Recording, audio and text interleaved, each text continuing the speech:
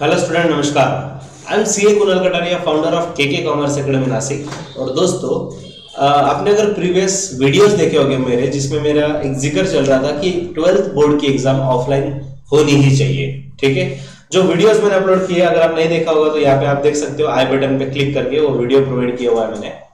जिसमें मुझे आज तक जितने वीडियोस मैंने अपलोड किए जिसपे कमेंट नहीं आए थे, उतने ज़्यादा कमेंट्स आए, उतना ज़्यादा अपोज भी फेस करना पड़ा। देन आई रियलाइज़ दिस कि अपोज क्यों फेस करना पड़ रहा है?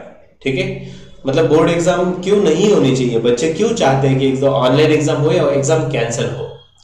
तब डिटेल में एनालिसिस करके पता चला, जब बच्चों के रिव्यूज़ आए डिटेल में जब उन्होंने उनके कॉलेजेस का या स्कूल का या स्टडी का जब स्टेटस भेजा, तब रियलाइज़ हुआ कि एग्ज़ाम के लिए माइंड से नहीं, वो स्टडी से भी प्रिपेयर नहीं है।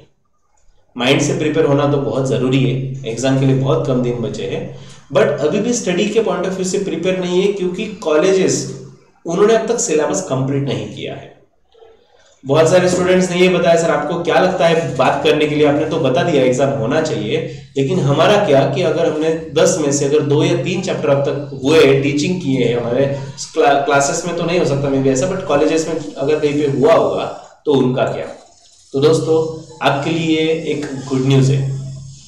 गुड न्यूज़ मतलब अ, ये है कि आपको जो लिमिटेड टाइम में अनलिमिटेड बहुत सारा स्टडी करना है, उसके लिए एक नया इनिशिएटिव मैंने लेके आया हो तो वो इनिशिएटिव ऐसा है तो ट्वेल्थ बोर्ड अगर आप दे रहे हो और अगर आप कॉमर्स से बिलोंग करते हो तो आपके लिए एवरी डे एवरी डे रात को नौ बजे एक वीडियो आएगा, जिसमें पूरे चैप्टर का रिकैप पूरे चैप्टर का क्विक रिकैप दिया जाएगा, वो भी चार्ट फॉर्म में। सो so, दोस्तों अगर आप वो अटेंड करते हो तो mark my words mark my words every day रात को नौ बजे आपको वीडियो मिल जाएगा अपलोड होगा के के कॉमर्स अकेडमी इसी यूट्यूब चैनल पे।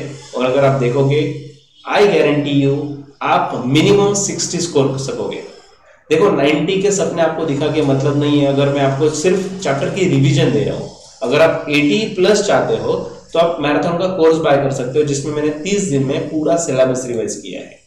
लेकिन अगर आप एक्सपेंस भी नहीं करना चाहते, कम टाइम में सिर्फ़ हमें पास होना है, ऐसा अगर आप टारगेट रखते हो सिक्सटी सेवेंटीज या उससे ज़्यादा तो डेफिनेटली आप एवरी डे वो लेक्चर गो थ्रू कीजिए।